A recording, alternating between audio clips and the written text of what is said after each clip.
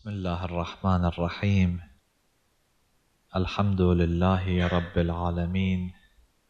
والصلاة والسلام على محمد وآله الطاهرين.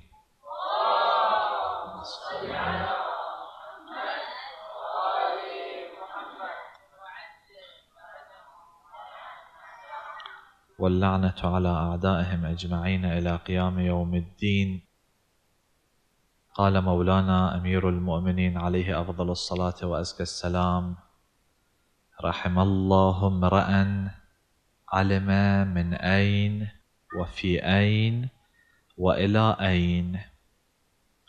الكلام بإذن الله يدور حول المقطع الثالث من هذا الحديث الشريف.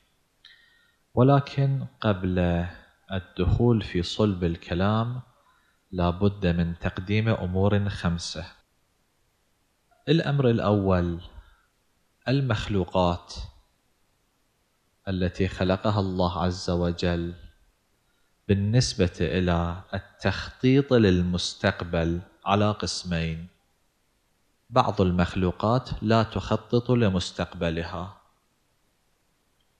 كالجمادات الحجر والمدر وما إلى ذلك. هذه أمور لا تخطط لمستقبلها بل هي محكومة بسلسلة من الأسباب التكوينية تجعلها على هذا النمط. القسم الثاني مخلوقات تخطط لمستقبلها وهي أيضا على قسمين. بعضها ليست باختيارها التخطيط للمستقبل ليس باختيارها وإنما هي مجبولة على ذلك. كالحيوانات. النملة تجمع لحره لبردها من حرها. تجمع لشتائها من صيفها. النحلة توجد العسل للشتاء لأنه في الشتاء ماكو أوراد. فهذه تصنع العسل لشتاء نفسها. هذا تخطيط للمستقبل ولكن حسب الفطرة. مجبولة هذه الحيوانات على هذا التخطيط. إلا أن هنالك مخلوق لله عز وجل مختار في أمر تخطيط المستقبل مو أنه مجبور على شيء وإنما له الاختيار في ذلك وهو الإنسان. الإنسان شخص يخطط للمستقبل باختياره. إذا ما يدرس ما يحصل علم لا يكون عالما طبيبا أستاذا في الجامعة. إذا ما يعمل ما يحصل مال. إذا ما يتزوج ما يحصل أولاد. والعكس صحيح اللي يعمل يحصل على الأموال.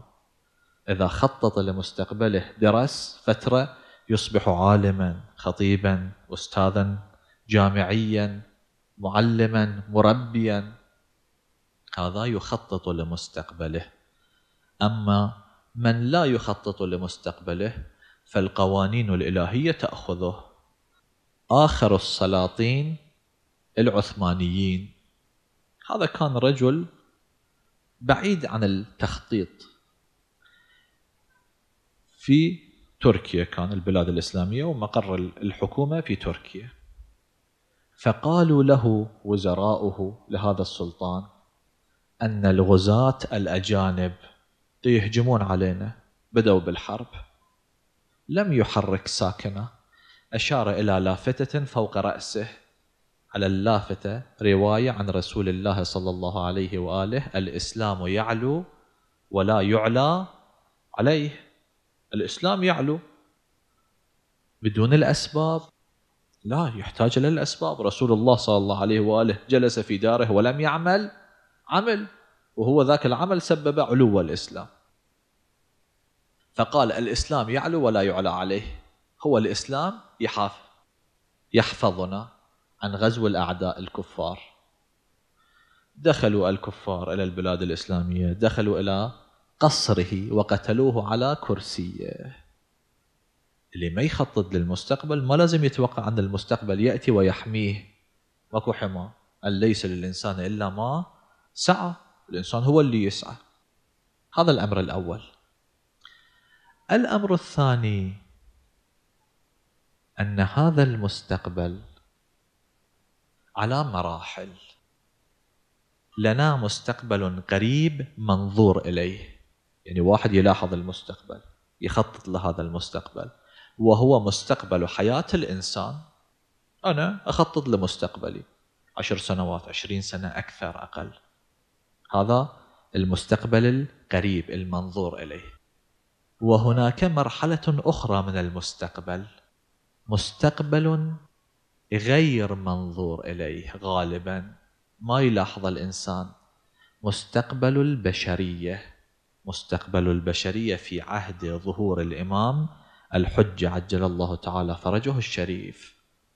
هذا أيضا مرحلة من المراحل مستقبل البشرية. المرحلة الثالثة مستقبل الدنيا مستقبل العالم مستقبل الجميع الآخرة.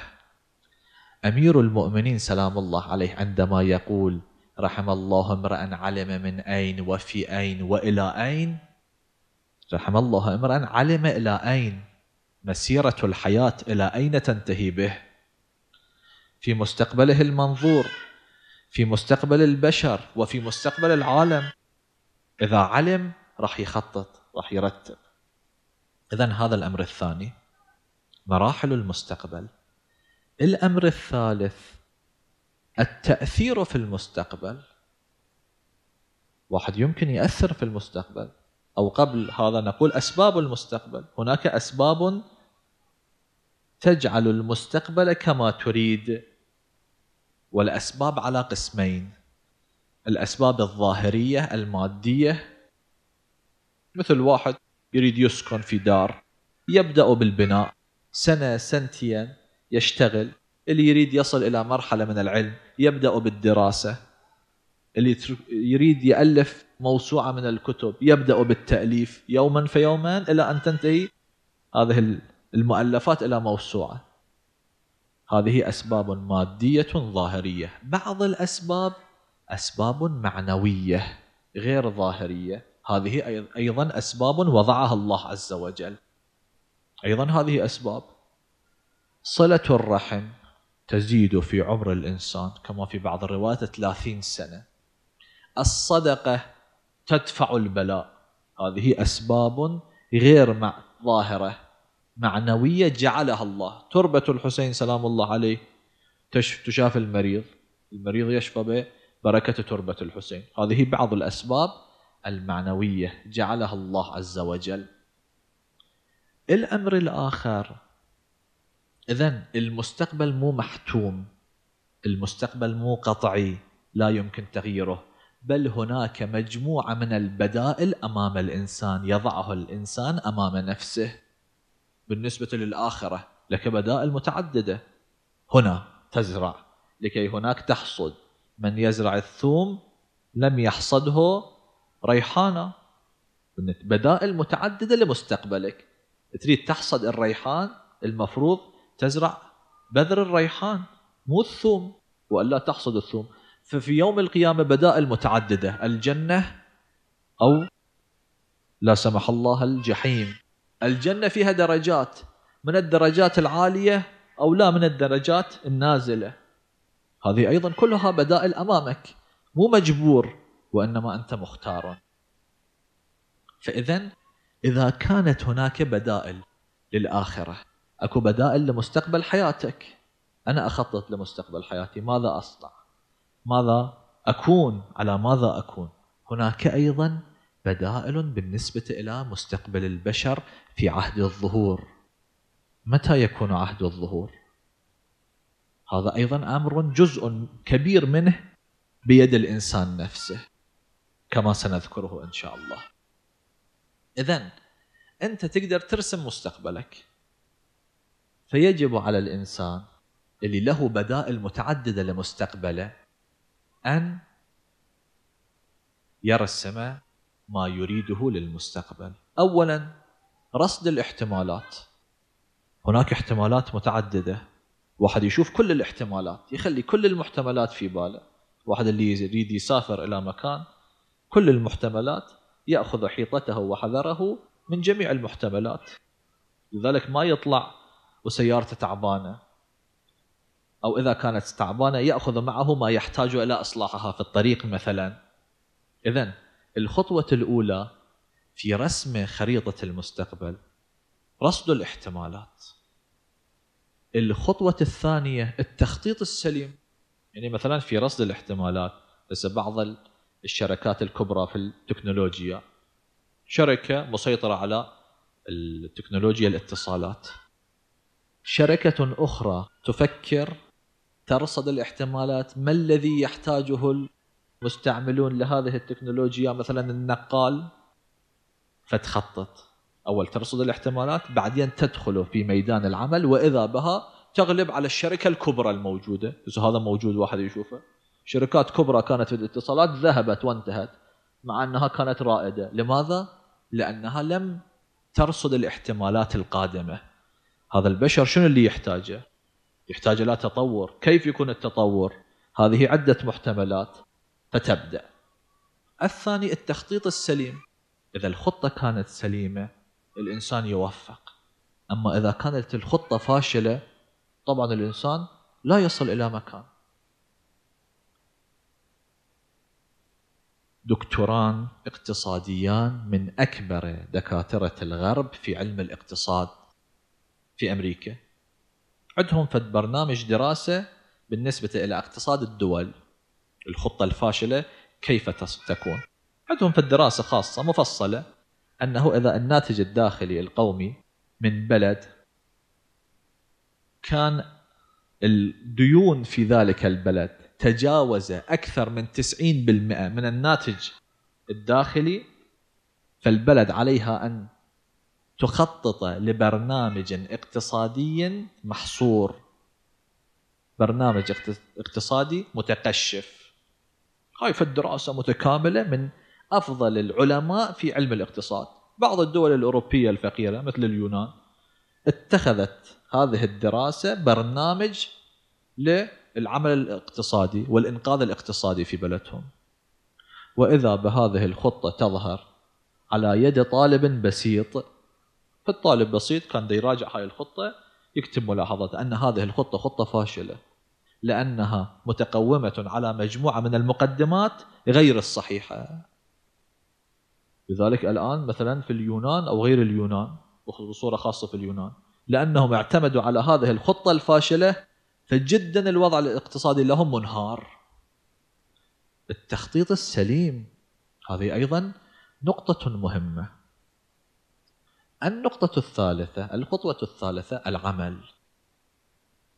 إذا واحد رصد الاحتمالات بالنسبة للآخرة كما في قضية ذلك الزنديق مع الإمام سلام الله عليه. الإمام قال له ذاك كان ينكر الآخرة وينكر الله. الإمام قال له عليه السلام لنفرض أنه ليست لنا الآخرة وليس هناك وجود لله عز وجل إحنا ما عندنا آخر خلينا نفرض هكذا. أنت ما متضرر لأنك لم تقبل الله عز وجل. أنا هم ما متضرر أنا شوية صعبت على نفسي في الحياة. أصوم وأصلي وأحتاط الواجبات المحرمات. أنت تقول الدنيا تنتهي ونحن ننتهي. مع الدنيا. خلاص زين أنا ما متضرر شوية صعبت على نفسي في الحياة. أعيش مثلك. بس أقوم صلاة الصبح مثلا وأصلي صلاة الصبح. هاي مو مشكلة. ولكن إن كان هذا رصد الاحتمال. إن كان هناك الله عز وجل والآخرة فأنا في الجنة وأنت تخسر كل شيء في النار. العاقل ماذا يفعل؟ يأخذ الحيطة والحذر. أو جويبر كان أحد الكفار. في حرب من الحروب أسر ابنه ابنه كان كافر. في حرب من الحروب مع رسول الله صلى الله عليه وآله هذا أخذ اسيرا. الرسول صلى الله عليه وآله أعلن قال أي واحد اللي أسير عنده لو يفتدي بالمال ويأخذ الأسير. جويبر ابنه أسير عند المسلمين. أخذ المال وأتى إلى مسجد رسول الله صلى الله عليه وآله ليعطي المال لرسول الله ويأخذ ابنه. هذا أسير يأخذه. عندما دخل إلى المسجد كان الرسول صلى الله عليه وآله يقيم الصلاة. يقرأ سورة الطور. إن عذاب ربك لواقع. ما له من دافع. هذا لما نستمع إلى هاي الآية المباركة جويبر إن عذاب ربك لواقع. ما له من دافع. أي واحد ما يقدر يقف أمام عذاب الله عز وجل. ماذا صنع؟ تأثر. كأنما اشتعلت شرارة الإيمان في قلبه. بعد الصلاة أتى إلى رسول الله. وناداه باسمه. قال ما الذي قرأته في صلاتك؟ قال قرأت القرآن. قال أعد علي الآية. فأعادها رسول الله عليه. فشنو قال إني أسلمت من هذه اللحظة. هو جاي حتى يعطي فلوس يأخذ ابنه ويرجع إلى مكة. هو أسلم. لماذا؟ فكر. أنه أكو مستقبل. وهذا المستقبل لو كان من اللي ينقذني من عذاب الله؟ ما له من دافع. هذه الأصنام تنقذني من عذاب الله إن كان الله موجودا؟ خلاص انتهى. أتى ليأخذ ابنه فأسلم على يد رسول الله صلى الله عليه وآله.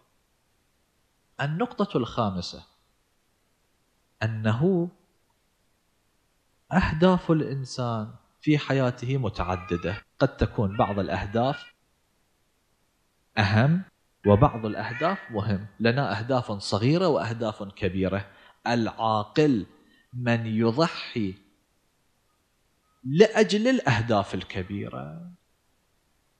مو أنه قال ذاك لعنة الله عليه الكافر وما عاقل باع الوجود بديني أي وجود؟ وجود اللي هم لم يكن وجودا ملك الري ولم يصل إلى ملك الري لم يأكل من حنطة الري. وما عقل باع الوجود بديني كل التجار يبيعون الوجود بدين إذا يشوفون الدين أنسب. خصوصا كيف؟ الآخرة والجنة والبعد عن النار. إذا العاقل يضحي لأجل الأهداف الكبيرة. يرسم خريطة لمستقبله وبعد هذه الخريطة يعمل. لذلك أمير المؤمنين يقول سلام الله عليه رحم الله امرأ علم من أين وفي أين وإلى أين؟ إذا واحد عنده علم العالم يخطط يبرمج مستقبله. مستقبله كحياة دنيا. مستقبله كحالة الظهور والمستقبل الأبعد من ذلك. هذا بيد الإنسان. بس الكلام في مستقبل البشر في وقت الظهور. الله عز وجل يقول في القرآن الكريم وعد الله الذين آمنوا منكم وعملوا الصالحات. إيمان وعمل مو إيمان بدون عمل. في القرآن تشوفون العمل قرين بالإيمان والإيمان قرين بالعمل. الله يطلب منك العمل مع الإيمان. عقيدة جوانح وجوارح عمل. وعد الله الذين آمنوا منكم وعملوا الصالحات ليستخلفنهم في الأرض كما استخلف الذين من قبلهم وليمكنن لهم دينهم الذي ارتضى لهم وليبدلنهم من بعد خوفهم أمنا يعبدونني لا يشركون بي شيئا. وعد الله وعد من الله. ولقد كتبنا في الزبور من بعد الذكر أن الأرض يرثها عبادي الصالحون. هذه الفترة مستقبل ولكن لا ينظر إليه غالبا. مستقبل مو منظور مستقبل البشرية فترة الظهور. اللي هذه الفترة تبدل الأرض غير الأرض. في الآية في الآية المباركة وأشرقت الأرض بنور ربها في الروايات أنه هذا في فترة الظهور. رواية عن الإمام الباقر سلام الله عليه أن هذه الآية وعد الله الذين آمنوا منكم وعملوا الصالحات ليستخلفنهم. هذه الآية وردت في أصحاب المهدي عجل الله تعالى فرجه الشريف. هناك محوران من الكلام حول الإمام المنتظر وفترة الظهور. المحور الأول هذه المظالم التي تقع على الشيعة. واحد يلاحظ الظلم اللي يقع على الشيعة في سوريا الآن. هذا القتل والإرهاب قتل النساء والأطفال. حتى الجنين في بطن أمه. لم يرحم هؤلاء الوحوش حقيقة. الوهابيون التكفيريون. هذه المظالم التي تقع على الشيعة في البحرين. عندكم في المنطقة. في أفغانستان في باكستان في مختلف نقاط العالم. هذه أمور تدل على قرب الظهور. إن شاء الله فعلينا أن ننتظر الظهور ولا نعمل. يعني زين بعد المنقذ الحقيقي هو الإمام عجل الله تعالى فرجه الشريف. فلننتظره. والآن هذه علائم الظهور قريبة. واحد يشوف العلائم. ماذا يصنعون في سوريا في بلاد الشام؟ وبعض العلائم تكون في بلاد الشام. هذا المحور الأول. المحور الثاني الحياة الكريمة بعد الظهور. أما بالنسبة للمحور الأول هل هذه علائم قطعية على ظهور الإمام؟ نأمل ذلك بس مو معلوم. وهذا لا يسبب أن لا نعمل بوظيفتنا. كل واحد عنده وظيفة. لو ثبت الآن أن يوم غد إن شاء الله هو يوم ظهور الإمام عجل الله تعالى فرجه الشريف هذه أعظم حوائجنا. هل يعني نحن من الآن إلى يوم غد 20 ساعة أقل أكثر نجلس وننتظر أم نعمل؟ يجب علينا أن نعمل. إن شاء الله نأمل أن تكون هذه علائم الظهور. المظالم وقعت على الأمة الإسلامية من زمن الرسول صلى الله عليه وسلم مو أنه الظلم إذا اشتد كثر يعني بنفس الوقت الإمام يظهر. ظهور الإمام مرتبط بعوامل منها عملنا منها دعاؤنا. رسول الله صلى الله عليه وآله شوفوا الأئمة أصحاب الأئمة العلماء المسلمون الشيعة. الرسول صلى الله عليه وآله يقول ما أذي نبي مثل ما أذيت أمير المؤمنين 25 سنة جليس الدار أبعد عن حقه. سيد الشهداء وأصحابه في فاجعة الطف الأئمة ما منا إلا مسموم أو مقتول. الإمام الكاظم سلام الله عليه 14 سنة كما في بعض الروايات في السجن. الأئمة سلام الله عليهم. أصحاب الأئمة. ابن أبي عمير مثلا. هذا من كبار الرواة من كبار العلماء. يذكرون في علم الرجال أن مراسيل مسانيد ابن أبي عمير. هذا الرجل الكبير أخذ للسجن. ألف خشبة ضربه ألف خشبة. الخشبة كان يخلون فيها بسامير. تخرج يخرج رأس البسمار من الجهة الأخرى فيضربونه من تلك الجهة. رجل عجوز يتحمل ألف خشبة في السجن. رجل من ولاة بني العباس. هذا قبل موته كان يقول أنا آيس من رحمة الله عز وجل. سألوه ليش أنت آيس من رحمة الله عز وجل؟ قال أنا قتلت ستين علوي في ليلة من الليالي الخليفة الظالم. لعنه الله أمرني أن أذهب وأقتل من في السجن. كانت هناك بير فأنا شفت ستين واحد كلهم من أولاد أمير المؤمنين سلام الله عليه. صغار كبار كنت أضربه رؤوسهم بالسيف أقتلهم. آخر واحد كان شايب. قال أنت شنو تريد تجاوب رسول الله؟ هكذا قتلت ذريته. قال أنا ارتجفت. شنو اللي أريد أقول لرسول الله؟ في ليلة واحدة أقتل ستين من, من أولاد أمير المؤمنين وأولاد فاطمة من أولاد رسول الله عليهم أفضل الصلاة والسلام يقول هذا سبب أنا ارتجفت بس خايف أنا من الخليفة. هم قتلته. لذلك أنا آيس من رحمة الله. أدري أدري أي شيء ما يصيبني من لطف الله ورحمته. طبعا اليأس من رحمة الله أشد من فعله. هذا واضح. واحد دائما لازم كان المفروض أن يذهب يرى من هو موجود يتوب إلى الله يرى الإمام. يطلب منه الحيل أن يفعل. يمكن الله كان يخفف عنه بس الآن لمن هو آيس يعني ما يحصل على أي شيء إلا درجات الجحيم والعياذ بالله.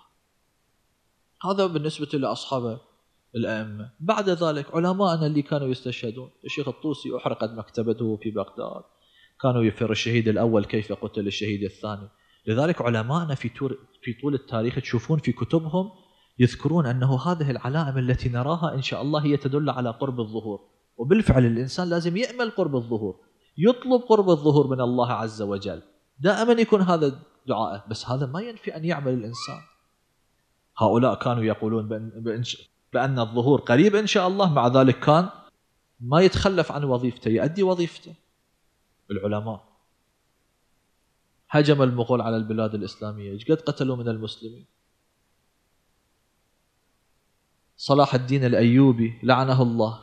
قتل مليون شيعي في بلاد الشام. يذبحهم رجال نساء أطفال. لم يدع منهم أحدا. أحد العلماء السيد محمد جواد العاملي عنده كتاب مفتاح الكرامة. هذا كتاب مهم في الفقه. يذكر في هذا الكتاب في انتهاء بعض المجلدات أنه نحن الآن في كربلاء في دارنا وقد هجم الإرهابيون على هذا البلد المبارك قبل 200 سنة وشوية أكثر. ثلاث مرات الوهابيون هجموا على كربلاء. منها مرة في الزيارة الغديرية. الرجال طالعين إلى النجف الأشرف ومجموعة في كربلاء. دخلوا كربلاء قتلوا ربع أهل كربلاء. قبل 200 سنة. ثلاث مرات هجموا على كربلاء. شلون فاجعة عظيمة؟ هو. ما الذي حصل؟ حصل أن الإنسان يجب أن يقوم بوظيفته الفعلية. ظهر الإمام أو لم يظهر الآن. لمصلحة لأمر لقصور فينا لعدم اهتمامنا بأمر الإمام. صاير تأخير في ظهور أمر الإمام. علينا أن نقوم بفعلنا. لصناعة المستقبل. إحنا نصنع مستقبلنا. شنو المستقبل؟ مستقبل وقت الظهور. كيف؟ بالدعاء بالتضرع. مو عندنا بني إسرائيل؟ مثال حي أمامنا. بنو إسرائيل هؤلاء. كان الفرج بظهور النبي موسى على نبينا وآله وعليه السلام بعد 400 سنة. 400 سنة فرجكم. الذي؟ زين خلاص بعد 400 سنة. نجلس؟ كلا. إحنا خو ما عندنا فد وقت للظهور. في الروايات قد يظهر يصلح الله أمر المولى عجل الله تعالى فرجه الشريف بين عشية وضحاها. أما بالنسبة للنبي موسى فبعد 400 سنة. هذا القضاء الإلهي. هل جلسوا؟ ننتظر إن شاء الله أحفادنا بعد 400 سنة يشوفون الظهور. كلا. خرجوا إلى الصحراء تضرعوا إلى الله. بالطريقة المعروفة سما أريد أذكر تفصيلها. وأنتم أعرف تضرعوا إلى الله فاقترب أمر الظهور من 400 سنة إلى 40 سنة. خوش فرح. 40 سنة يعني هم إن شاء الله يشوفون. أولادهم يشوفون الظهور. كفوا تركوا الدعاء الحمد لله الله استجاب. لا ليش أربعين سنة؟ إحنا الآن نريد النبي موسى. فلم يتركوا وتضرعوا وتضرعوا وطلبوا حتى رأوا النبي موسى في ذلك اليوم. الإمام الحجة عجل الله تعالى فرجه الشريف يظهر لا شك فيه أشرقت الأرض بنور ربها وعد الله الذين آمنوا منكم وعملوا الصالحات ليستخلفنهم. هذا أمر لا شك. بس هذا المستقبل إحنا نصنعه. جزء منا بيدنا هل انقطعنا إلى الله عز وجل كما ينقطع الإنسان في حاجة إلى الله؟ واحد ما عنده بيت ومستاجر ومن بيت إلى بيت. شلون حقيقة بالليل للصبح يفكر ويطلب من الله أن يرزقه دارا واسعة؟ عنده هم الدين ولا هم كهم الدين. شلون ينقطع إلى الله انه هذه الديون أنا أسددها؟ عنده سجين عنده مشكلة يطلب من الله. هكذا نطلب من الله عز وجل. الله يفرج. الأمر بيدنا.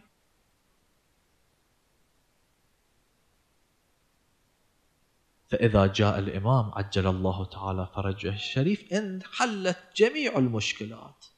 مع ذلك لاحظوا مو أنه تركوا العمل قبل 250 سنة علماءنا. شنو فكروا؟ الوهابيين بين فترة وأخرى يهجمون على المقدسات. فماذا نصنع؟ عملوا. زين لما هجموا على المقدسات وذبحوا كذا من الشيعة فالمفروض الإمام يظهر إحنا نقعد. لا إحنا نعمل.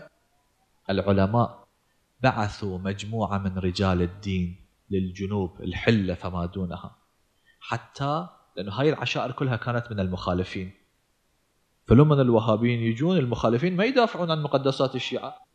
فهذول الوهابيين يجون يدخلون على المدن المقدسة ويقتلون وينهبون ويسرقون ويفعلون ما يشاءون. حتى اختطفت بعض النساء في تلك الفترة. راحوا راحوا بعد ماكو خبر عنهم.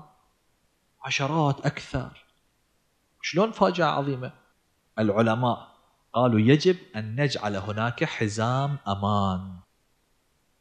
فتخط مقدم يكون كيف هذول العشائر في الجنوب في الحلة ما دون الحلة أنه نبصرهم حتى يتشيعون. فذهبوا في تلك الفترة بعض العلماء ذهب إلى الحلة وإلى الجنوب ومنهم أحد العلماء من السادة الغزاونة فهؤلاء مئة ألف شيعي قبل 200 سنة. يعني يمكن الآن أولادهم خمس ملايين. مئة ألف شيعي صاروا حزام من الحلة في جنوب العراق. بعد ذلك أرادوا الذهاب إلى شمال العراق فصارت مشكلة الإنجليز ودخول الإنجليز آه، فشل المشروع في شمال العراق. في جنوب العراق. الآن التشيع في جنوب العراق بجهد أولئك العلماء حفاظا على المناطق المقدسة الأضرحة الطاهرة. ليش؟ لأنه هذول يصيرون حزام. إذا الوهابيين يريدون يدخلون هذول يقفون في الصف الأول. الشهيد العم رحمه الله في السيدة زينب إيش قد كان يصر على التجار تجار الشيعة قبل أربعين سنة. تعالوا اشتروا أطراف السيدة زينب. بلاش. في تلك الفترة. المتر بليرة واحدة. أطراف السيدة زينب. حتى هذه المنطقة تكون منطقة شيعية. تعالوا اعملوا. ما كانوا التجار يفعلون. العلماء ما كانوا يهتمون. بعضهم التجار ما كانوا يهتمون. الآن المشكلة وصلت إلى بيوت التجار في مختلف المناطق. الإنسان هو اللي يصنع المستقبل. الآن السيدة زينب سلام الله عليها مهددة. أطراف السيدة زينب. هذه الأطراف أطراف السيدة زينب كلها أوكار للوهابيين. ليش؟ لأنه مناطق يسكنها المخالفون. الحركة لو كانت حركة صحيحة النتيجة تكون نتيجة صحيحة. الآن حقيقة شوفوا مو فقط الشيعة والمسلمون في عناء حتى البشرية بصورة عامة الآن في عناء. في الصين نروح للشرق. مليار بشر عبيد. كثير من الأصدقاء رايحين هناك كانوا ينقلون أنه هذول يعملون من الصبح إلى الليل لأجل قوت يومهم ونومة ليلهم. بس يحصل فش يأكل مو أنه يقدر يذخر لبعده لمستقبله. مقدار أكله في هذا اليوم من الصبح لليل يشتغل عشر ساعات حتى يحصل طعام فقط. هذا مو عبد. يقولون إحنا شلنا العبيد. الآن مليار من البشر في الصين عبيد. روحوا إلى الغرب. الغرب الآن في حرية؟ كله كذب. أي شيء ماكو في الغرب. أفضل من بلادنا. لا شك في ذلك. ولكن يصنعون الأسلحة ليقاتل الرجل صاحبه وصديقه ومن هو على دينه ومن هو على شاكلته. الآن الأسلحة التي تؤخذ إلى المعارضة في سوريا. هذا لحفظ الدماء أو هذا لإعطاء السلاح لمجموعة من الوحوش من الوهابيين من التكفيرين لقتل الشيعة ولخراب هذا البلد. واضح لا شك في ذلك. من الناحية الاقتصادية شوفوا في الغرب الضرائب الموجودة. يأكل حفنة من الأموال تجتمع عند حفنة من التجار والفقراء يسدون حجر المجاعة على بطونهم. إذا حقيقة لا خلاص لنا. إلا بظهور الإمام عجل الله تعالى فرجه الشريف وظهور الإمام يرتبط بعملنا يرتبط بدعائنا. هذا بالنسبة إلى المحور الأول. أما المحور الثاني في الحياة الكريمة بعد رسول بعد ظهور الإمام فندعه لوقت آخر. هذا وصلى الله على محمد وآله الطاهرين.